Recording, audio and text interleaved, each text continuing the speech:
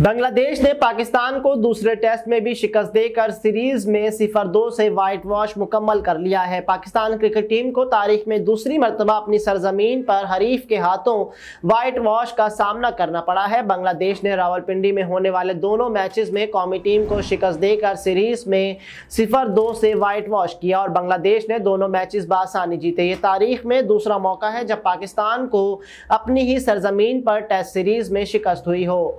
हाल ही में इंग्लैंड ने पाकिस्तान को सिफर तीन से शिकस्त देकर तारीख में पहली मरतबा पाकिस्तान के होम ग्राउंड पर व्हाइट वॉश किया था। पाकिस्तान टीम दो मरतबा न्यूट्रल वेन्यू पर भी अपनी होम सीरीज़ हार चुका है। 2002 में ऑस्ट्रेलिया ने श्रीलंका और मुतहदा अरब इमारात में होने वाली सीरीज़ में पाकिस्तान को शिकस्त दी थी और 2017 में श्रीलंका ने पाकिस्तान को सिफर दो से यूएई में हराया था।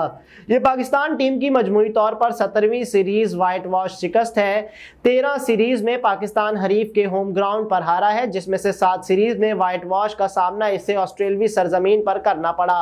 पाकिस्तान टीम को ऑस्ट्रेलिया में उन्नीस सौ बहत्तर उन्नीस सौ निन्यानवे दो हज़ार चार दो हज़ार नौ दो हज़ार सोलह और दो हज़ार तेईस की सीरीज़ के हर टेस्ट में शिकस्त का सामना करना पड़ा था। इसके अलावा 2002, 2013 और 2018 में इसे जनूबी अफ्रीका में व्हाइट वॉश का सामना करना पड़ा। 2016 और 2020 में पाकिस्तान क्रिकेट टीम को न्यूजीलैंड में व्हाइट वॉश शिकस्त हुई थी जबकि दोनों सीरीज़ में पाकिस्तान सिफर दो के मार्जिन से हारा था।